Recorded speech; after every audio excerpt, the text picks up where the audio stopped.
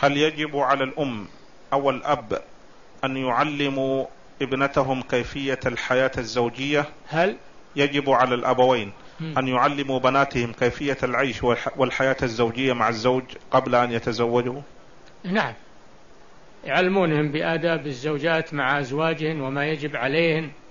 هذا شيء طيب نعم